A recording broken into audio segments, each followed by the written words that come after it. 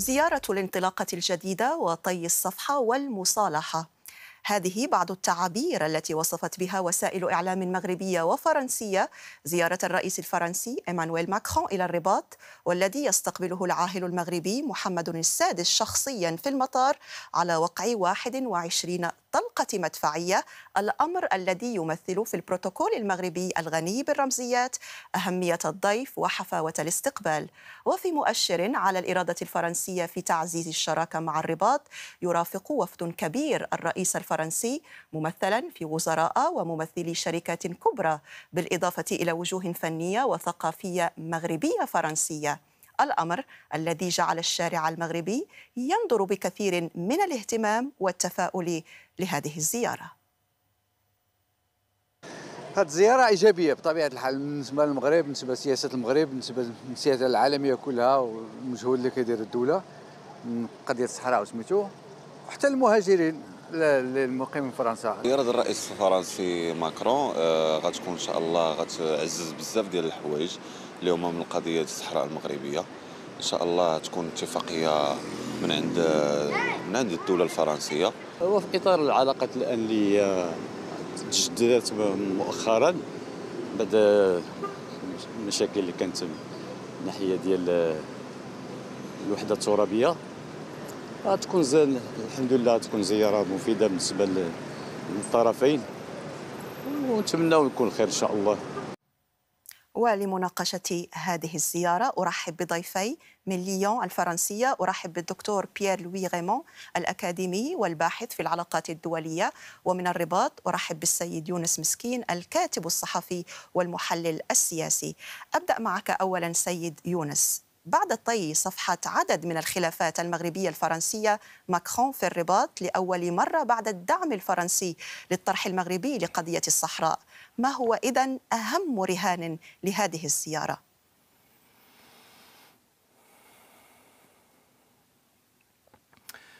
مساء الخير أستاذة ريم وتحية طيبة لجمهورك الكريم ولضيفكم من فرنسا.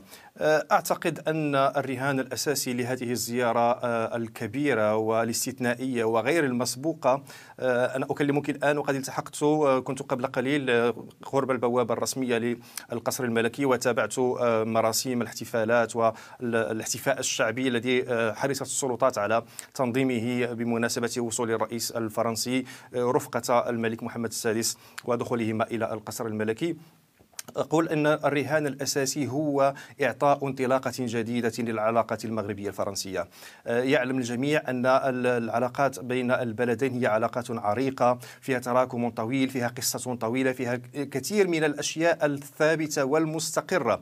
لكن هذا الثبات وهذا الاستقرار في العلاقات الثنائية حتى ما في السنوات القليلة الماضية مراجعة شيء ما في هذه العلاقات. كان هناك نوع من الضيق نوع من التوتر نوع من الغموض ونوع من التذبذب في هذه العلاقات. لاحظنا أزمات متكررة منذ على الأقل ما لا يقل عن عشر سنوات وتحديدا في الثلاث وأربع سنوات الماضية. وبالتالي أعتقد أن الرهان اليوم هو هذه العلاقات الاستثنائية والاستراتيجية والتي تنطوي على الكثير من المصالح المتبادلة بين المغرب وفرنسا كانت تحتاج إلى وقفة جديدة تحتاج إلى توضيح بعض الأمور وبعض النقاط وبعض الملفات العالقة في العلاقات بين البلدين. والآن أعتقد أن انطلاقا من هذه الزيارة سوف تحدث هذه الانطلاقة الجديدة. ودليل ذلك هو البرنامج المكثف والحجم الكبير حتى الذي أعطته فرنسا لهذه الزيارة من خلال طبيعة الوفد الذي يرافق طيب. الرئيس الفرنسي. والأجندة التي خصصت لهذه الزيارة طيلة الأيام الثلاثة. وأيضا باعتبارها أول زيارة زيارة دولة من هذا النوع للرئيس ماكرون الذي طيب. يشارف على إنهاء ولايته الثانية في آه، آه، قصر الاليزي اذا أعتقد أن الرهان الأساسي هو إعطاء هذه الانطلاقة الجديدة استثمار ما تحقق في الماضي والتطلع إلى المستقبل طيب. بحسابات جديدة تختلف عما هو قائم حاليا آه، سيد بيير لوي غيمون العلاقات المغربية الفرنسية شهدت لسنوات أو لثلاث سنوات برودا هل يمكن القول إن الخلافات طويت تماما بين المغرب وفرنسا؟ ثلاث سنوات ريم مساء الخير ومساء الخير أيضا للأستاذ يونس. أعتقد بأن ثلاث سنوات على ضوء آه، علاقات وكيدة انطلقت منذ نهاية القرن السابع عشر تقريبا منذ عهد لويس الملك لويس 14 لا تمثل الكثير في الحقيقة. فبالتالي نعم أعتقد بأن هذه العلاقات عادت إلى مياهها الطبيعية. هذه العلاقات التي تميزت أساسا بتعاون نموذجي في المجال الاقتصادي، لا ننسى بأن الاستثمارات الفرنسية في المغرب تبلغ غزوها ال 20 مليار يورو والاستثمارات المغربية في فرنسا تبلغ غزوها ال 2 يورو، طبعا الاقتصاد هو عصب العلاقات ولكن ليس مجرد الاقتصاد في حالة العلاقة الفرنسية المغربية لأن الروابط بين بلدينا لا تشمل فقط الجانب الاقتصادي والجانب الثقافي ولكن تشمل أيضا طريق عريق جدا من التبادل الذي في الحقيقة تكثف وتوطد عن طريق وجود طلاب مغاربة وأكثر من مليوني مغربي مقيم بفرنسا. مؤسسات تعليمية فرنسية 30 آه، مراكز ثقافية آه، معاهد ثقافية في المغرب تمثل أكبر عدد من المعاهد الثقافية الفرنسية في العالم. فبالتالي نعم أعتقد بأن آه، ما كان مثلا خلاف سوريا تماما كان الآن متعلقا بمسألة الصحراء وبعض المسائل الأخرى. التي صحيح أنها أربكت العلاقات ووترتها ولكن دائما يعني لا يوجد فرس لا يحبو حتى في أكثر العلاقات يعني مثلا قد نجد بعض الرياح التي تهب على عيد ما تشتهي طيب. السفن في بعض الأحيان ولكن أعتقد بأن هذه سنفصل فيها دكتور غيمون سنفصل في هذه النقاط. آه، لكن ذكرت آه، ملف الاقتصاد وهو ملف مهم وصفته بعصب آه، العلاقات المغربية الفرنسية. سيد يونس يعني زيارة الرئيس الفرنسي تنعكس على أو تأتي بمجموعة واسعة من العقود الاقتصادية. آه، مع أن الطرفين اختارا التكتم حول آه، آخر المفاوضات الجارية بهذا الخصوص آه، ما الذي سيمنحه المغرب اقتصاديا لفرنسا؟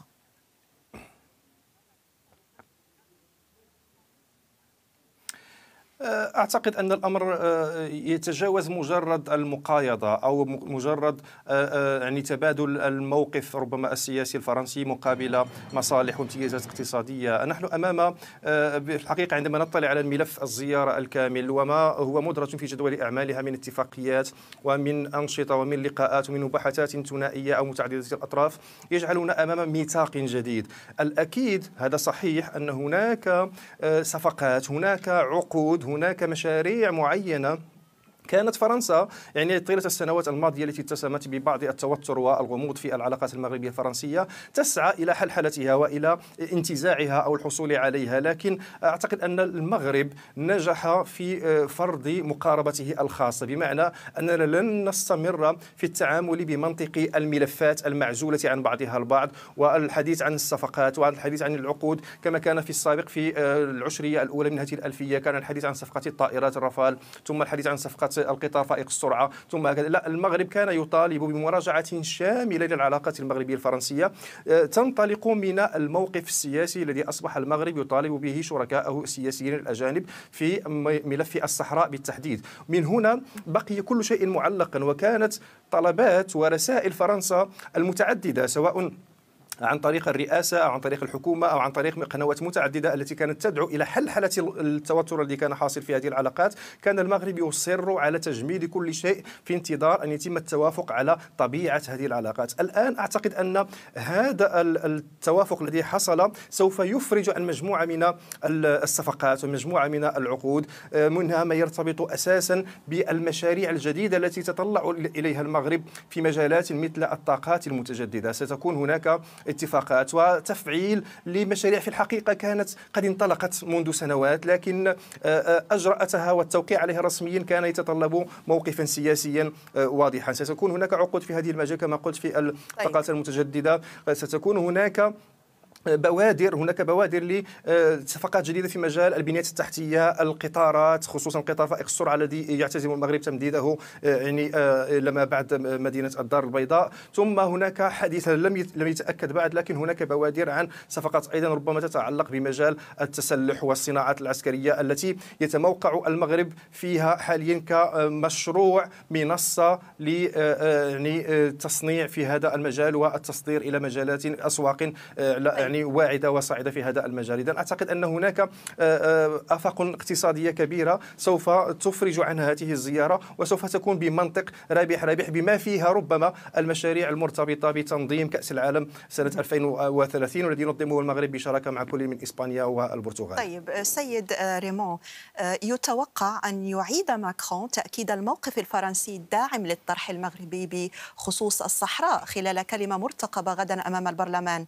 هل ينعكس هذا الموقف الفرنسي كذلك على الاستثمارات الفرنسية في الأقاليم الصحراوية؟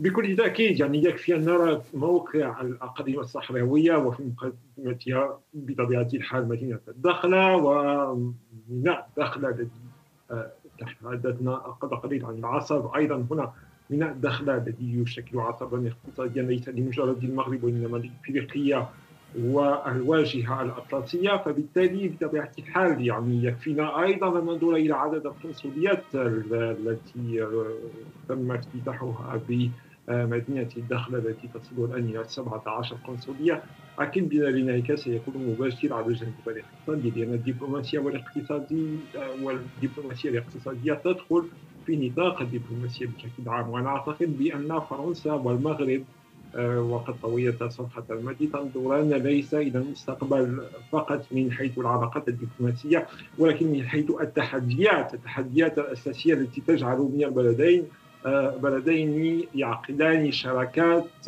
تندرج في الاستطلاعات والاستشرافات المستقبلية التي يمكن أن تساعد المغرب على إشعاع كامل يتوافق كاملا مع ما يطمح إليه من طموح في العمق الإفريقي وفرنسا باستثماراتها. لا تساعد المغرب فقط كدولة تسعى إلى الاستزادة من خبراتها التكنولوجية وخبراتها الاقتصادية التي تسمح للعديد من الشركات ليس فقط الفرنسية ولكن أيضا الدولية من الاستفادة من مزاياها مثل ما هو الحال مثلا في المنطقة الحرة. ولكن أيضا على المستوى القاري على مستوى القارة الإفريقية التي تجعل لا من الشبكة الطرقية ولا من خطوط الطيران ولا من الوكالات البنكية نعم. مجالا واسعا للمغرب ليفرض نفسه كقوة اقتصادية فعلا آه، تصنع وتفعل وتستمر في تفعيل آه، شراكة رابح رابح اقتصاديا آه، شراكة شراكة رابح رابح لكن آه، هناك يعني سؤال كذلك يفرض نفسه هو أن هناك علاقة كذلك مع الجزائر. أقصد علاقة فرنسا والجزائر التي تنظر على الأقل على المستوى الإعلامي إلى هذه الزيارة بنوع من الريبة أو النقد. هل توازن فرنسا أو هل آه، يهم فرنسا أن تقدم على الأقل بعض الشيء للجزائر لامتصاص هذا الغضب؟ هل يعنيها ذلك؟ أنا أعتقد بأن آه، الملفان ملفان منفصلان عن بعض، أعتقد بأن الخطأ الذي آه، قمنا به محللون ومراقبون وفاعلون في هذا الموضوع المتعلق بالعلاقات الفرنسية الجزائرية وربطها بالعلاقات الفرنسية المغربية. آه، ناجم عن عدم فصل بين ملفين مختلفين تماما. آه، بين فرنسا والجزائر تاريخ عريق. آه، جعل من ملف الذاكرة أم الملفات. التي يتعين على فرنسا آه، تسويتها ومواصلة تسويتها حتى وإن كان الكثير قد فعل في هذا المجال. وموضوع الصحراء في الحقيقة قبل أن نجعل منه موضوعا سياسيا آه، أرى أنه علينا أن نجعل منه موضوعا منطقيا. لو نظرنا إلى عدد دول العالم ولو قسنا عددها بعدد الدول التي اعترفت بسيادة المملكة المغربية على الأقاليم الجنوبية. في مقدمتها الإدارتين الأمريكتين الترامبية في البداية بطبيعة الحال ولكن أيضا الإدارة الديمقراطية فالمجال أصبح مجالا منطقيا وليس آه، مجالا سياسيا مجال منطقي لكن لكن يحدث للجزائر مشكلة والدليل أن كان هناك موقف جزائري رسمي يعترض على فرنسا ويحتج عليها. فلا يمكن فعلا الفصل بين آه، القضيتين. لا يعني هذه هي الرؤية الجزائرية الحالية الآنية للأمور. وإن لم تتطور وإن طبعها الجمود فأعتقد بأنه لن نجد أي تحرك في الموضوع. يعني موضوع الصحراء تقريبا موضوع قائم منذ أكثر من خمسة عقود. وإذا كان هناك طرف آه، لا يرى آه، مصلحة في أن يتطور في هذا الموضوع فلا أعتقد أن الشركاء الآخرين يستطيعون فعل الكثير طيب آه، سيد يونس مسكين الاعتراف الفرنسي بالحكم الذاتي المغربي خطوة مهمة للمغرب لكن ما المنتظر؟ يعني كخطوات أو خطوات عملية من فرنسا في هذا الملف تحديدا هل يتوقع المغرب ربما دعما فرنسيا على مستوى أكبر على سبيل المثال مجلس الأمن؟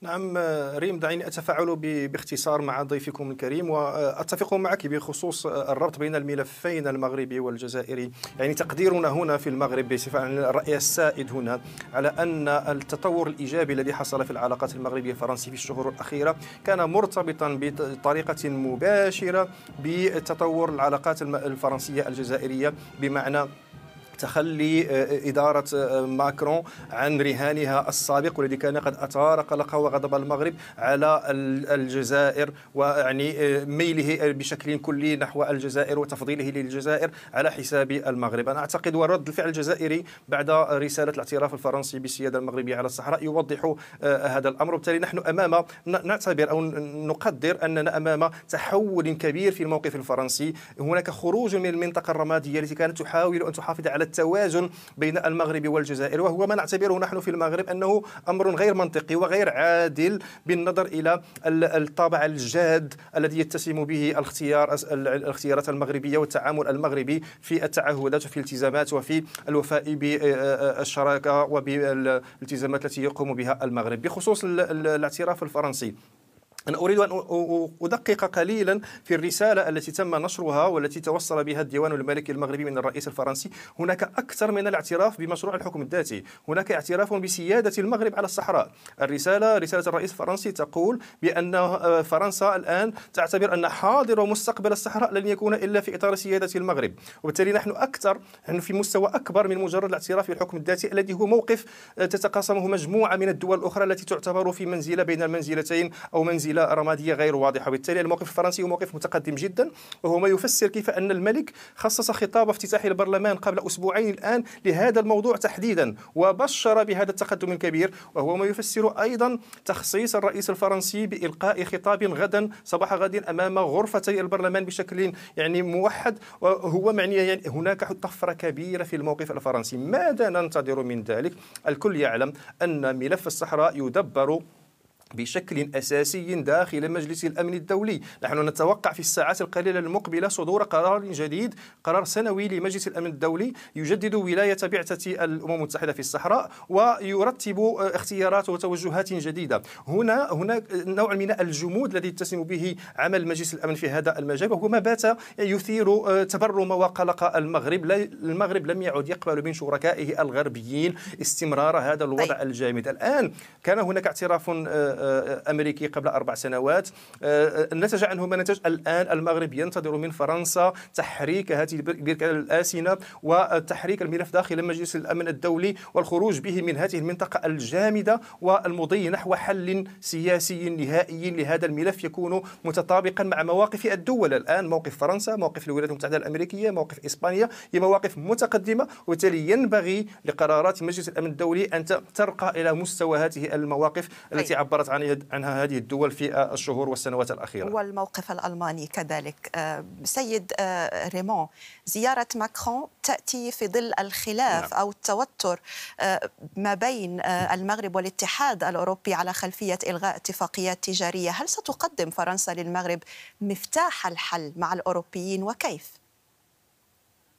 فرنسا تحتل مركزا قياديا في الاتحاد الأوروبي وتطمح إلى تفعيل هذا المركز وبطبيعة الحال الاتفاق والتخطيط ربما الاتفاق في الصيد البحري الذي بقي معلقا وجديدا وأعتقد أنه يشكل فعلا مادة أساسية بالنسبة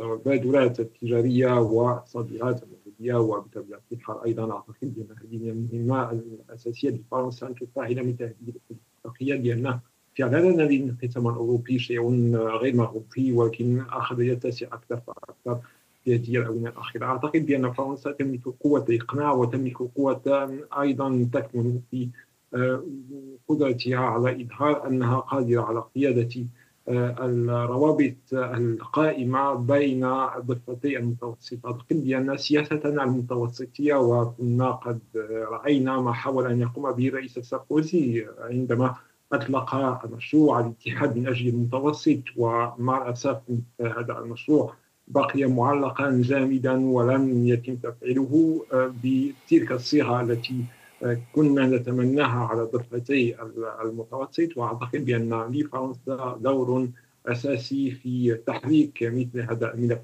المعلق. وهذا يعطي فرصة أيضا للحديث يعطيني فرصة أيضا للحديث عن أن السياسة المتوسطية للاتحاد الأوروبي سياسة يجب أن تفعل ليس فقط في موضوع الهجرة وليس فقط في موضوع مكافحة الارهاب ولكن أساسا في موضوع التبادلات الاقتصادية التي تسمح ببلدان الحوض المتوسط من الاستفادة من ثرواتهم الطبيعية وجعل جعلها في قلب التبادلات والمبادرات التجارية.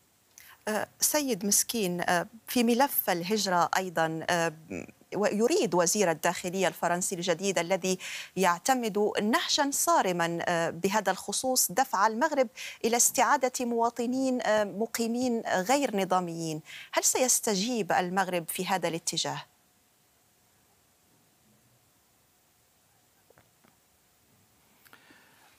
لا أستطيع أن أجيب نيابة عن الحكومة المغربية بشكل جازم لكن ما يمكن أن نتوقعه هو أن جميع الملفات المطروحة على الطاولة بين البلدين بين المغرب وفرنسا ستعرف بعض بعض الانفراج وبعض التقدم في جميع آه، آه، الاتجاهات لأن هذا الإطار العام الجديد الذي سيحكم العلاقات المغربية الفرنسية سينعكس بالضرورة على الجوانب السياسية والاقتصادية والثقافية وملف الهجرة إلى آخره. المغرب كان في السنوات الأخيرة وهذا ما سبب كان جزءا من الأزمة كان يرفض الطلبات الأوروبية بصفة عامة والطلبات الفرنسية بشكل خاص لاستعادة أو إعادة بعض المهاجرين خصوصا منهم القصر. يعني يعني يوجدون في سن غير آه، آه، دون سن الرشد القانوني. وبالتالي هذا الموضوع كان يطرح بعض الإشكالات من حيث التحقق من هوية هؤلاء المهاجرين والتأكد من كونهم مغاربة أولا حتى يمكن للمغرب أن يدخل في نقاش آه، إرجاعهم أو عدم إرجاعهم إلى المغرب. أنا أعتقد بأن الجو الإيجابي لهذه العلاقات المغربية الفرنسية في هذه انطلاقا من هذه الزيارة سوف ينعكس على هذه الملفات. لا أعتقد أن المغرب سوف يقبل بسهولة بإعادة مهاجريه المقيمين أو غير القانونيين في في فرنسا. لكن من المؤكد أن هذا الملف سيعرف بعد التقدم قد يعرف بعد التدقيق قد بعد تبادل التعاون والخبرات. كان المغرب يعرض أن ينتقل مسؤولون وبعثات أمنية مغربية إلى فرنسا من أجل التأكد من هوية هؤلاء المهاجرين والعمل على دراسة وضعهم. أعتقد أن في هذا الاتجاه سنعرف بعد التقدم بدون شك في هذا الملف. أه، يونس باختصار ماذا عن الشريك الأوروبي الآخر إسبانيا في 30 ثانية هل يوازن المغرب بين علاقته بين باريس ومدريد؟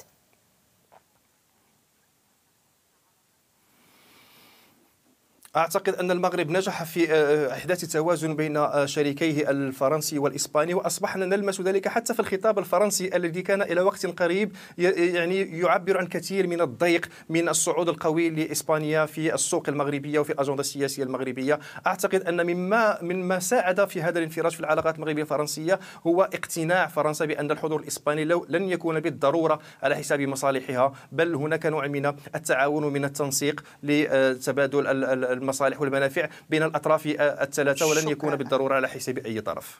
آه، الأستاذ يونس مسكين الكاتب الصحفي والمحلل السياسي شكرا جزيلا لك. كنت معنا من الرباط والشكر كذلك للدكتور بيير لوي غيمون الأكاديمي والباحث في العلاقات الدولية. كنت معنا مليون. بهذا مشاهدينا الكرام نصل إلى نهاية المسائية. هذه تحياتي أنا ريم نجمي وأنقل لكم تحيات الفريق العامل وراء الكواليس. إلى اللقاء.